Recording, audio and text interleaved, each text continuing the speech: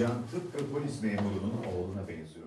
Polis Ne Yapar projesiyle ana sınıflarda eğitim gören 5-6 yaş grubundaki çocuklara polislik mesleği anlatılıyor. Polisin korkulacak biri olmadığını öğretmek, tereddüt etmeden her zaman polise başvurabilecekleri ve arayabileceklerini anlatmak amacındaki projede amaç, polisin aileleri kadar kendilerine yakın olduğunu hissettirmek.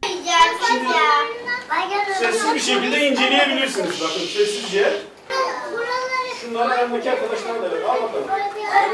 Proje kapsamında ziyaret edilen okullarda çocuklara Polis Ne Yapar isimli çizgi film izletiliyor, onlarla sohbet ediliyor. Yine çocuklar için özel olarak hazırlanan trafik kurallarını içeren boyama kitabı ve balon hediye ediliyor. Tekrar bekleriz diyelim bir de. Peki çocuklar biz teşekkür ederiz. İyi dersler.